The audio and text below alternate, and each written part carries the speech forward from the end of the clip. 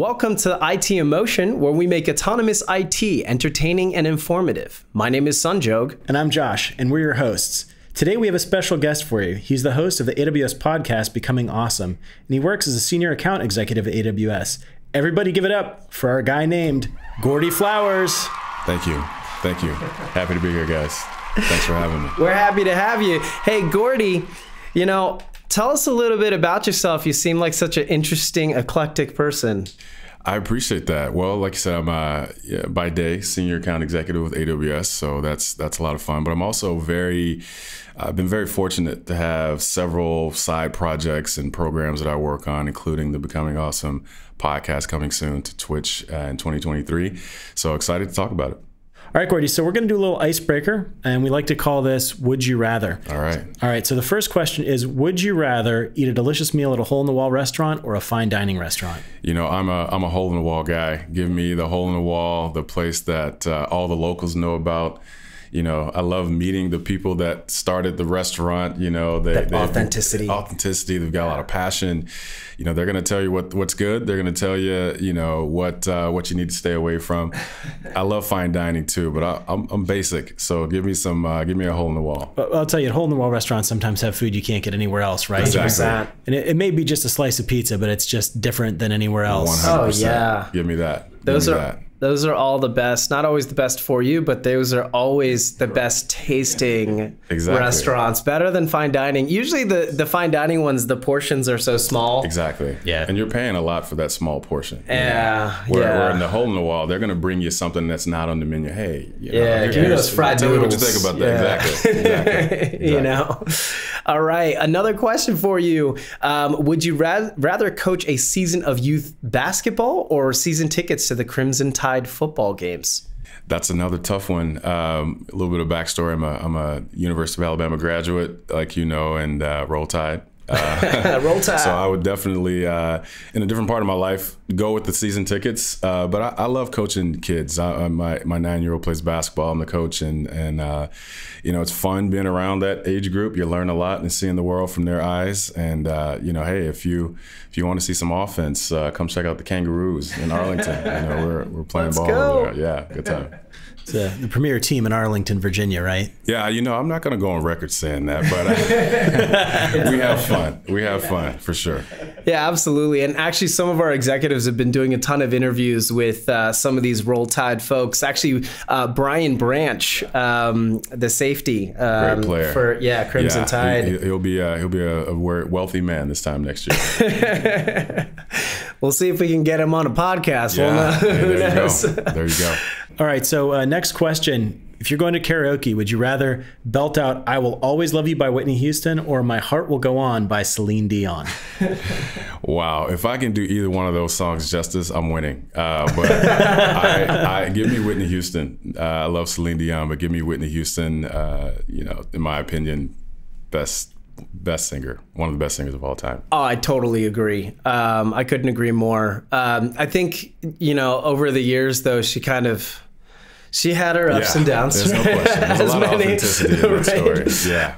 Um, but anywho, uh, next question we got for you is: Would you rather make more money or have more impact on this world? Think of like United Nations Sustainable Development Goals or advocacy work. What means more to you? Yeah, that's a, that's another easy one. I'd rather make the impact. Uh, to me, you know, I've uh, been fortunate in my life to have lots of opportunities and, and be taught on how to give back and how to serve and how to do those types of things. So that's that's a big part of my life. You know, we're, we're, my wife and I are trying to instill that in our kids and, and make an impact any way we can. Absolutely, I love that. I love that. I, am a I'm a big uh, fan fan of actually uh, giving back as well. Uh, I do that voluntarily uh, for a couple of local nonprofits, grassroots. Um, you know, I, I, heard you're quite the the advocate in general. Can you tell us a little bit about some of the work that you've you you promote and talk about and and yeah. and done? I'm involved with a lot of organizations. You know, I've, I've uh, for a long time worked with uh, Big Brothers Big Sisters, and you know some of the big ones, Salvation Army. My family and I recently moved to Northern Virginia from Phoenix, and uh, you know every every Thanksgiving, every Christmas, we go downtown and get about 50 meals loaded into our car and just deliver them to people in the city on those days. Uh, usually people that are sick and shut in, nursing homes, people that don't have anybody. It's a really cool way to be out there. And the first time I did it was very, I was kind of skeptical. Like, yeah, I don't Right. know if people want to see me coming in their house. But man, I tell you, the food is just a part of the the experience. You get there, you get to know these people, you get to put humanize people in different situations. And so for me, that's been a lot of fun. A couple days ago, my uh, colleagues and I uh, went to uh, Southeast DC. We work with a, a, a nonprofit called Martha's Table. And uh, they specialize in education, nutrition, and, and just overall well being. And this project specifically was about uh, giving fresh produce and, and veggies and fruits to people in what are called food deserts, places where there's no there's no Trader Joe's, Sure. there's no Whole Foods, you know, there's not even the big grocery stores that you know community stores that we're used to seeing. It's all 7-Elevens and Seven- stuff like that. exactly. Corner stores Right. and fast food restaurants. And so, you know, as a result of that, you know, the nutrition isn't there. Isn't the best, Right. And so one of the things they do is once a once a week or maybe once a month they they bag up all this fresh produce from these local farmers and they just have it available for these parents to come and get it. Yeah. So my team and I we helped make over uh, over 150 bags for these families. They come and pick up their kids and just get a, a free bag, you know, with some even had like a recipe card in there to help them with some some ideas.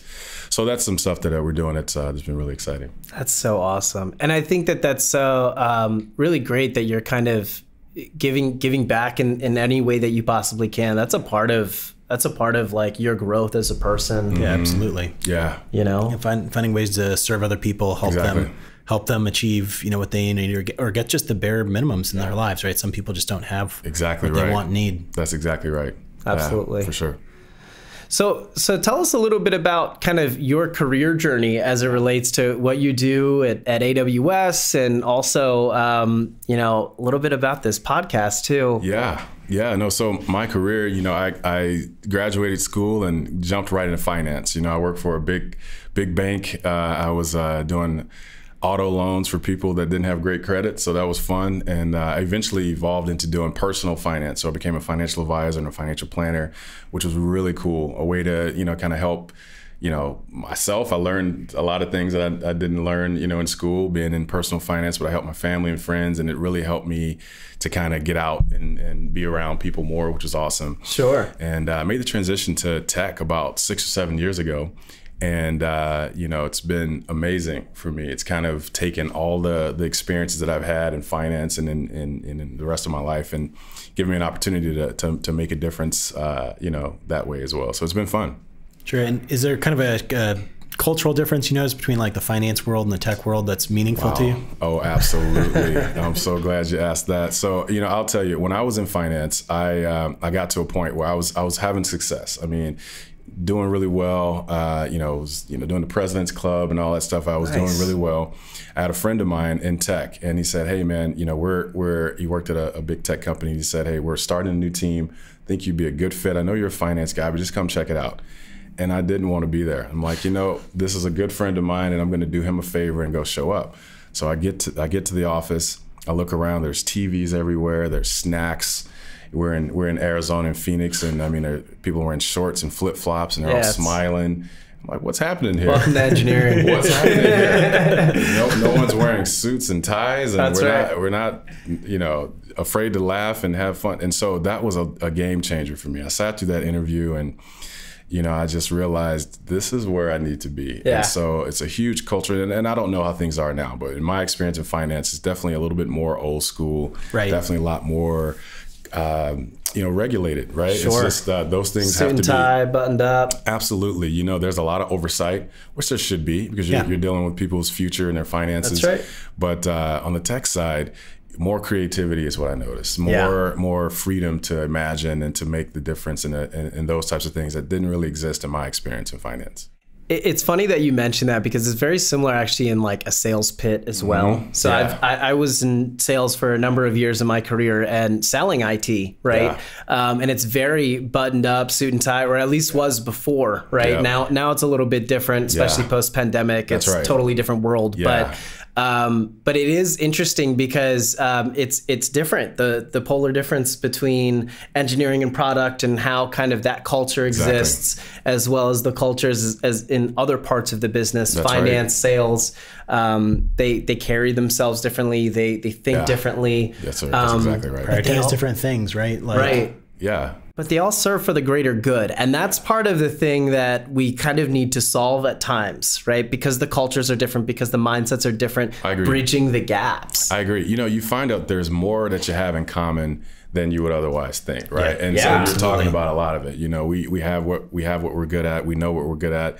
You know, you're a great engineer. You're a great sales guy. Sure. But we all go to lunch together. We find out that we like the same music. Our kids go are the same age, or you know, we're into the same types of things. That's And right. I think that's where the growth is, and a lot of the smaller, a lot of companies are figuring that out. Like you mentioned, post pandemic, or maybe just in general. Uh, you know, with having more collaborative efforts and less siloed approaches to getting business done.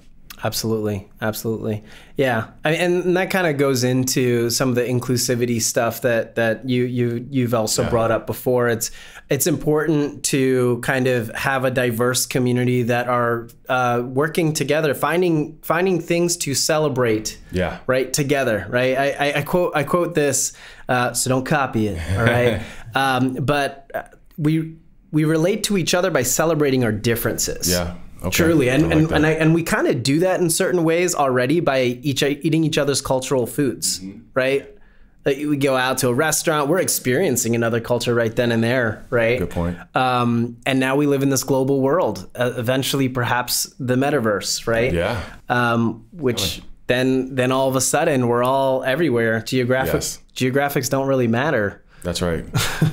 I think that's a good thing. You know, I mean, like I said, it's you you learn so much from being around other people and people that have other experiences. I mean, you know, obviously you have your non-negotiables, whatever those are. Sure. But uh, you know, in, in my experience, you know, having people from diverse backgrounds and, and just people that think differently than you do, you know, being around people that see the world maybe just a little bit different than you do, I think you'd be surprised at what you learn. Yeah, I mean, uh, to me, that's one of the most valuable things. You you meet someone who who has like just a very different perspective on the mm-hmm. world than mm-hmm. everyone else that you talk to. Exactly. They're the ones who give you the ideas where you, you really stop and think, oh, man, you know, I really didn't consider that before. Exactly. I agree with that 100%. You know, again, that's just where the growth is. Empathy can change the world, guys. Yes. I'm convinced. Absolutely. Yes. I'm convinced. I am with you. I'm with you. Yeah. Um, yeah. I mean, it, it, it's it's important, right? You just go out and get to know people, and when you you know, it, it's so easy to look and, and like you were saying, when you're going out and doing service work for people Mm-hmm. and bringing up stuff, you had that perspective of, you know, are they going to want me there? You've got kind of got this Right. mental image, and then you go Oh, yeah. meet the person, they become a human to you, Absolutely. and you find out, you know, they're a war veteran. You Yeah. know, they were. Uh, you know, their their mother, their father, Yes. their you know, an out of work artist, like whatever it is, right? And there's like a whole story there. It's a rich tapestry. Exactly. And, then Yeah. it becomes a whole different thing. Exactly. I agree with that. Everybody has a story to your point. And, you know, it's, you know, I had that kind of aha moment when that, when that happened with me. I'm just thinking, how many more experiences like this am I missing? Because in my mind, it's not going to be what I think it's going to be, or it's Right. going to be something totally different than what it actually is. you know? Sure. And it just takes a little bit of courage, I guess, and stepping out. And, you know, not to say that things always work out, but I, I'm convinced, like you, that empathy and, and, and just effort make a big difference. Absolutely, absolutely, and I, and I think it's like important for us to recognize that you know, especially nowadays, because we're all kind of mixing cultures, and there's just a lot of. It's okay to be two things, Yeah. right? Yes. You can you can be two. That part. Uh, you know, we're not we're not can't be pigeonholed into being identified as one stereotypical thing anymore, Yes, and we need to learn to be okay with that. that is correct. I think that's a big that. that's a big thing, you know, for a lot of us to understand. Because you're right, we're either right or left, we're red or blue, we're this or that, right? And in reality, you're right. What if I am more than one? What if what if I like this and I kind of like that too? Uh-huh. Yeah. You know, what if what if I like a hole in the wall, but I can I can Eat get fancy. I can get fancy. You like Celine Dion and you like Whitney Hey, Houston. what if I like both? I'll take both of those, right? Yeah, yeah. so I think there's something to be said. It doesn't have to be one or the other. Where it's everything's not black and white, right? There's a lot of gray. There's a lot of, you know, so I, I agree. Good, good, Yeah. good points. A- absolutely, and and you know, just kind of uh, shifting gears, just just a little bit, learning a little bit more about your account management roles in the past. Um, you know, from that perspective, what are typical responsibilities as it relates to contributing to larger strategic business goals, like customer retention, expansion, upsell, things like You that? know, that's a good question. Um, you know, I think in, in a lot of, in my experience, I'll say, you know, a lot of my career shifted from just pure sales to more relationship management. A lot of what I do now is like project management. And to your point, you know, retention is a big thing. Everybody, you know, every company wants to hold on to who they have. You want to grow those those accounts, those people that those customers that you have. right. Expansion. You want to you want to acquire some of those prospects, right? It's that's just the name of the game. Yeah. But in reality, most consumers have options, right? You know, Yeah. depending on what their product or service is, I can go with you or I can go with someone else, you know, and it's all about really how you make me feel. That relationship. And if you, that relationship. And, and, and if you're meeting the need, I mean, if we're going to say table stakes or you can do what I'm, I'm looking for you to do for me. Yeah. The rest of it is how does Josh make me feel? When I talk to Son, you know, he, he, brightens my day, right? You know, no pun intended. That, that was pretty good. I didn't mean to do that. Yes. um, so I just, so I think that you know how you make people feel is really the the lasting impression. And so for me, that to answer your question, you know, it's gone a lot from. Uh, you know, transactional type sales. Like, you Sure. know, I want to hit my number. Of course, I do. But you know, for what I've noticed is over time is those relationships with people and, and no matter how you do it a lot of times it's over zoom but you know Yeah. if now coming out of the pandemic we can get out and meet people and see them face to face those relationships translate into those results you know 100%, those yeah. relationships translate into those kpis and those metrics that you're looking for Yeah. and so that authenticity to me translates and, and really sets the table for success and Yeah. uh, you mentioned customer success you mentioned account management you could probably put that in you know there's a lot of different uh, roles that that could fill so that that's that's how i see it Yeah, I mean, I, I think that's true of, of any relationship, right? Yeah. You know, everything you said about wanting to retain, make sure you're meeting the people's needs, it applies just as much to employees as it does to customers. exactly yeah. You know, you want to retain your true. you want to retain your best employees. You want to get them right to, to a point where they're happy with what they're doing and they're productive and Absolutely. You can almost make the argument that, you know, if you're running a company, depending on the size, that your employees are your customers to a certain I mean, you've got in, in customers that are, you know, helping with the bottom line. But to, to, to Josh's point, you want to keep those employees. Uh, you know, what happens if you lose an employee? How long does it take to get somebody to replace Exactly. a high performing employee? How much money does that cost? So, you know, you're right. You know, reinvesting that time, that effort, the money into those employees and really letting them know you care in some kind of way, you know. And well, the, the main thing is is knowing how they feel cared, right? I, I think there's something There, like yeah. called like the five languages of love, right? Yeah. And that just like thinking about that kind of concept a little bit, it's like we all have different wants and needs and expectations when we join a company and put our effort efforts forward we want to either be maybe recognized in certain ways or even just a little pat on the back of like hey good job today because you really went when you know the full nine right you, Exactly. you really did it um, that's really important uh, i think that we need to also recognize for for customer relationships it's so important to also just meet them as people yeah. yeah. I think part of it is like we get s- behind a pane of glass and we're just like, okay, this ticket came in from this customer, right? Like we have to, but we have to really see, okay, no, there's a person behind Take that a step back. Yeah. right? Like it's, Yeah, uh, no, absolutely. I mean, I've got probably the most Washington D.C. story possible. I, I, I met someone who worked for an advocacy organization, and she was telling me about it, and I was like, "Yeah, I don't know about that. Maybe there's side effects if we do that." Mm-hmm. And you know, she just was like sitting up straight, and she had like an answer for everything, and. I had I probably talked to her for 20 or 30 minutes before finally she started talking like a person Yeah. and not like a policy representative. Yeah, you know? Right. That's right. That's right. I think that's where it is, though. You know, connecting that human, those dots to Yeah. a human being, Yeah. working backwards from that ticket. You're right. You know, we can look at it as a transaction. This is what I do for my job, but you know, this this means something to them. You know, maybe this. You know, what is that? Can I quantify it? Maybe Yeah. with money and time, or, or you know, this must be really hard for you. Obviously, you you this is a high severity. So whatever this is for you, and Right. I'm sure this translates into a lot of lost, a lot of anxiety for you. You know, how can we help? And and it's a lot of times they're just looking for someone that cares. Thank you. A lot of times it's just like, hey, do you even care? Because and if you're and and usually as an account guy, it's like you're like, okay, yeah, I care, so I'm gonna stay on this call until whenever I need to get off because Yeah. the other right people people are on the call, whether it's an engineer or it's kind of someone else who can make that decision. Yeah, Right. I agree. Um, but that's a huge. That's a huge job. Sure is. Sure is. I agree. I mean, I, you know, it's people can tell. They can tell if you care. Yeah, and, and so many of us have insecurities, and sometimes people just Mm-hmm. need to know they're on the right track. Yeah, Right? exactly. So- sometimes it's just that basic. Like That's it. you're doing a good job with this. Don't worry about it. Like all all customers when they're new Yeah. have trouble with that. Yeah. and, and you'll learn it. Or Absolutely. you know, it's it's just you know we want to make it as easy for customers to do whatever we're doing we can, but people just need to know like yeah you're on track. You're doing well. That's a great point. I agree with that 100%. Yeah. Absolutely. So uh, what types of technologies have you supported, and, and what do you sell? Yeah, it's a good question. I spend a lot of time uh, with storage and compute type things. Um, but I'll tell you the biggest the biggest projects that we work on are migrations. You know, customers that are Sure. Uh, on premises and uh, they're moving to the cloud, right? And so it's uh, that's that's pretty much the name of the game, and you see it in every industry, every vertical. Uh, it's uh, you know when I started in tech, you know, someone told me like you're either in the cloud, you're moving to the cloud, or you're thinking about it, and if you're not, you're getting left behind. You know, that's just the reality of where we are. Or And- your head's in the clouds. uh, oh, very nice, very nice.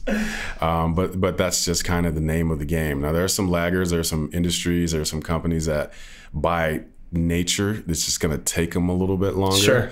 I had a customer uh, in the southeast United States that's a stove company. They make old school iron stoves. So like you know you can Like in a Just use your cabin? imagina- Yeah, Yeah. log Yeah. cabins, man. You know, and then they're- but they, you know they can do things outside in your yard and that type of thing, and they are very, you know, very traditional in the way they do things. You'd be surprised at how, you know, they approach some of the things that seem to have been modernized over time. Yeah. But in having a conversation with some of the the, the folks there that make the decisions, they know it's coming. You Yeah. know, and it's just a matter of getting that that inertia, just saying, all right, you know, listen, if I'm the only one that's gonna say we we we need to make this move, I'm gonna keep doing it until I'm blue in the face because it's it's that or we're gonna get left behind.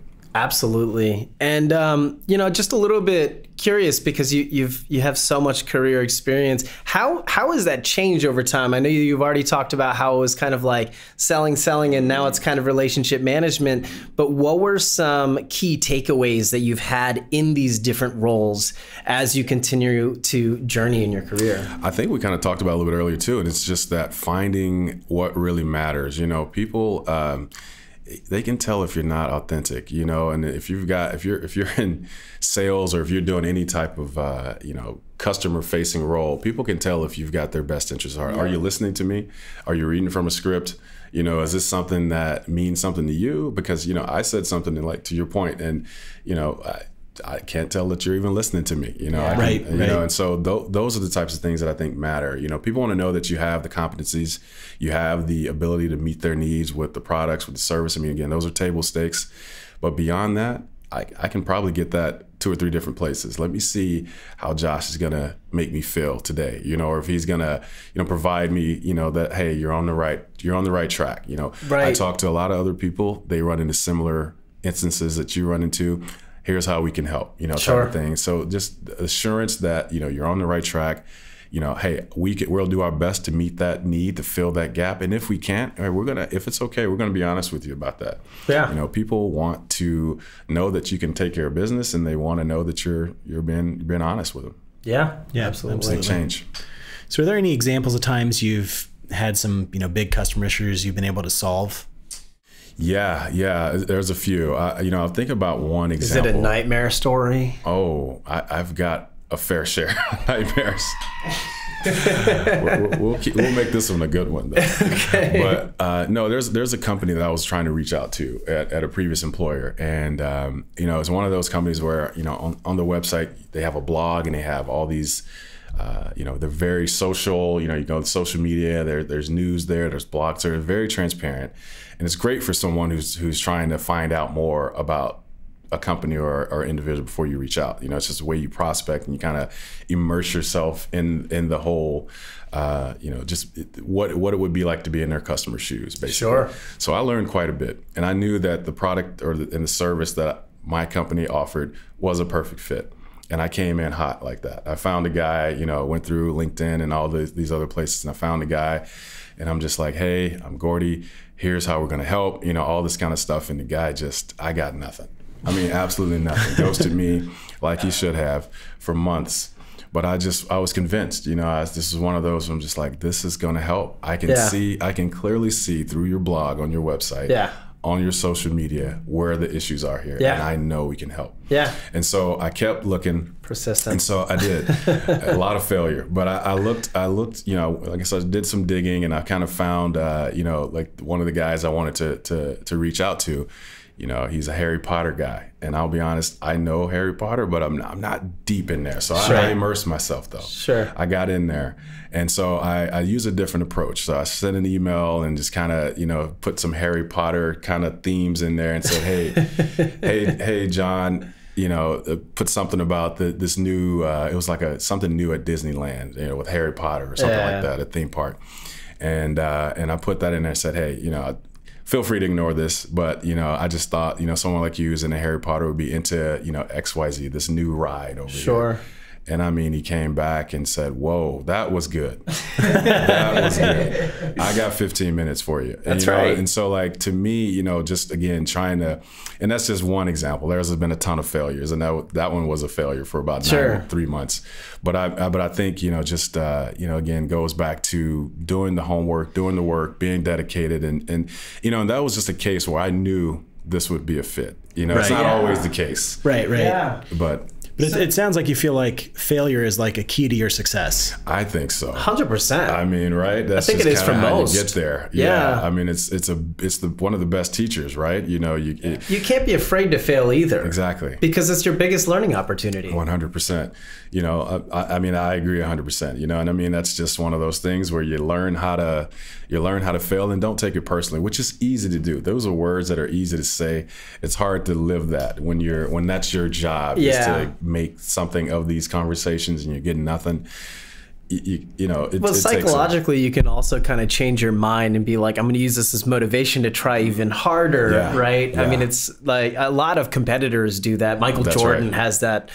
Sometimes it turns into a complex, though. So it's Yeah. like it's like finding that line of like That's where right. you can work it with you, but also yeah. it don't want doesn't. to get too obsessed with making that happen. You know, you cross the line there. But but you're right. There's, you and- know it, yeah. it, it's really interesting because you you saw the value in understanding people and, and really what you did was take the time to learn about that person. Mm-hmm. That person how you had that opportunity was through the internet. That's Yeah. all data Yeah, right? It's just like you you really leveraged data in in certain ways and, and really how important is that? Talk to us about how important data reliability is to you especially for these scenarios right? It's just um, you know had you have misstepped and he's not a harry potter fan right It's a great question. Uh, wh- what makes data reliable is, you know, just in the in the, you know, it's reliable. It's, uh, you know, I think to it's a good question because data is everywhere. Every every school, every company, we there's data everywhere, and it's a matter of using that data to your advantage, using those insights to then monetize them or learn from them, so that you can be more agile and, and quicker with making decisions. And so to me, when I think about clean data, you know, it's it's you know maybe three things. It needs to be consistent, it needs to be accurate, and it needs to be relevant to the story that Yes. you're telling, right? So if I, you know, let's say there's a CFO and he says, you know, son, I want to see uh, year over year revenue of a specific product or service. And so, you know, we've got all this data. We've got multiple disparate data sources. You know, it's uh, say we've got annual revenue here, we've got monthly revenue here, we've got uh, daily run rate here. All that needs to speak to each other yeah and to make sense in order to get that end result. So to me, you know, the data is reliable when it's, you know, when it's it's properly. You, you know what I mean? Like it- Absolutely. It, has to talk to each other, right? To to get to get to that end result. absolutely Yeah, and it, one one aspect that you you kind of touch the side of is you know, there's sort of like the very numerical data, right? Your year over year revenue, your, you know, queries per second, whatever. Mm-hmm. Yeah. But there's also sort of another side of data that's maybe a little bit less numerically focused. Mm-hmm. Hey, can, can you talk a little bit about like how you balance those two in different audiences? It's a great point. Um, I think it depends on the audience. So, I, you know, when I think about, I, I before I got into my current role, I worked for a data and analytics company, and that's all we did. And so, one of the the sayings that I heard all the time from the engineers was, "Friends don't let other friends use pie charts." You know, like. but at the end of the day, it's all about. got one. So, but at the end of the day, it's really about telling a story, you know, using data to tell a story. So if, you know, you got really technical users and you've got business users and, you know, we, we have eight, nine year old kids. So it's like, can I take this super complex concept and through the magic of data visualization, can I make it to where a nine-year-old can understand it, and maybe more relevant, a business user can understand it, can Sure. consume, you know, a dashboard or something that's, you know, some of the the big, the biggest, brightest minds, in my opinion, you know, they take that same type of complex information and they let their shareholders shareholders know what the what the results of all that is in a very plain way, in a very, Absolutely. you know, uh, elementary school level way of communicating and say, all right, here's a here's a here's a lot of info.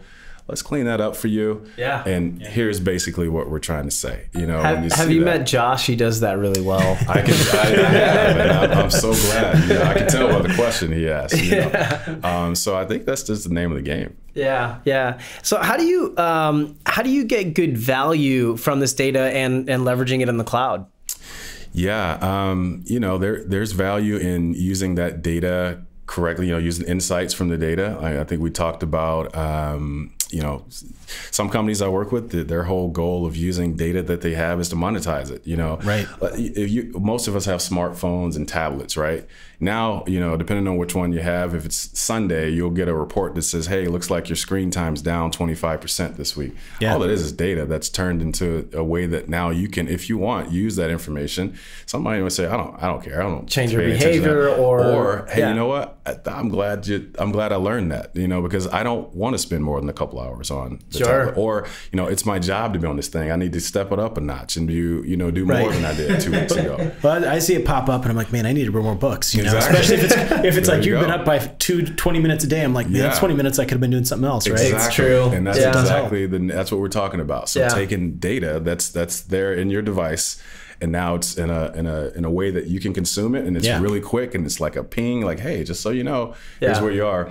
And so to me, that's uh, that's a big part of it. Yeah, it's funny because actually, I don't think social media uh, outlets want that either. They don't want you to know how many hours they spend. Right, you're right. You spend on That's a their platform. That's, That's- it. That's why they invented infinite scrolling. It's just like, well, I'm not at the bottom yet. I'll just keep going. They got it all figured out. That is very true. But yeah, that's really the name of it. You know, taking that taking that data that already exists and we're gonna make it digestible and, and usable so someone can make decisions based off of it. Yeah, yeah. So does do you, do you feel like uh, from a from a work perspective at least, or, or maybe from a personal perspective, the the cloud plays into getting good data of that sort? I, I mean, I think so. Um, you know, and, and good data, you know, we can have a conversation about what that means, but you know, it's just um, it's just you know, kind of like we're talking about data that's used to to tell the story. To whatever story we're trying to tell. And uh, you know we can clean it up. We can it's got to be again it's got to be reliable. It's got to be it's got to be relevant to what we're talking about you know? It's Yeah. you know if i can just throw some numbers at you and doesn't mean anything to you. I mean you know i just did all that work for Abs- nothing. You're not the you're not the audience or it's not the right data for you. And so um, yeah Absolutely, absolutely.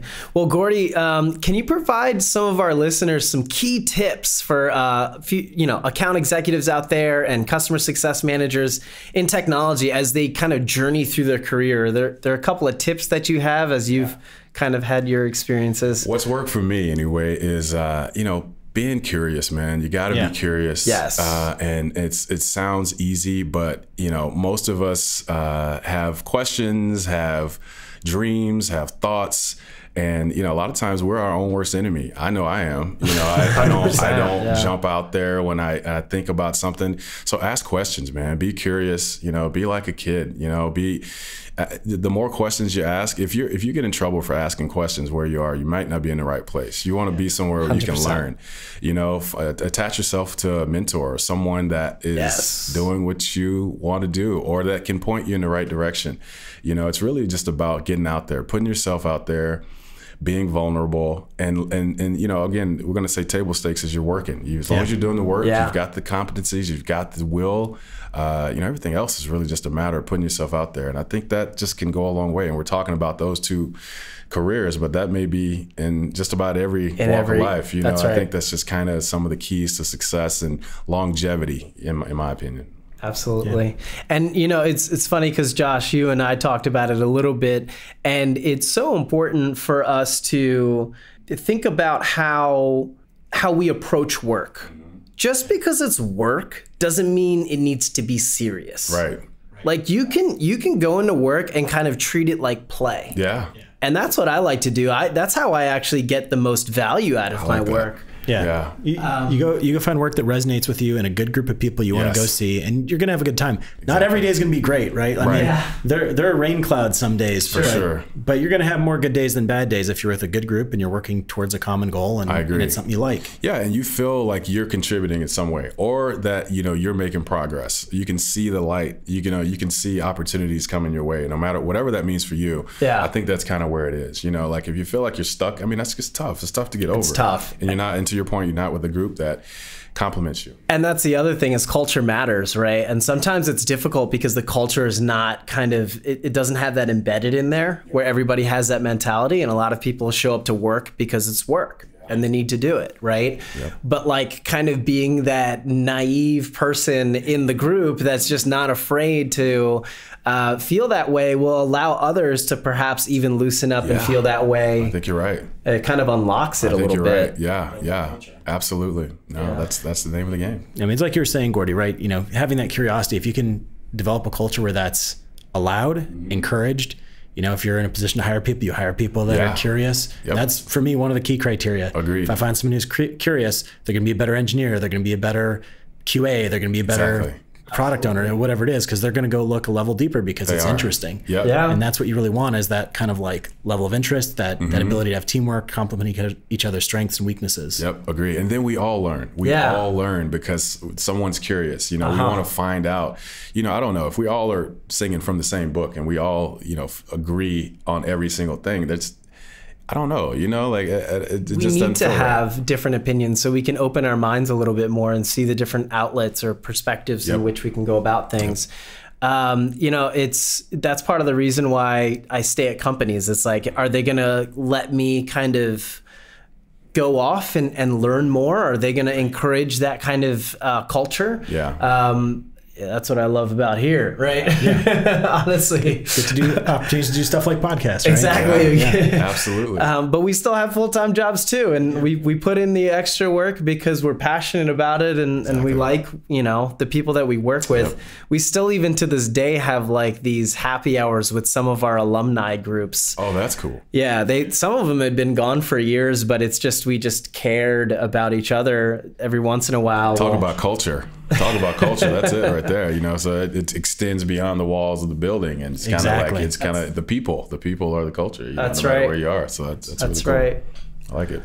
All right. Well, uh, Gordie, thank you so much for joining us here today.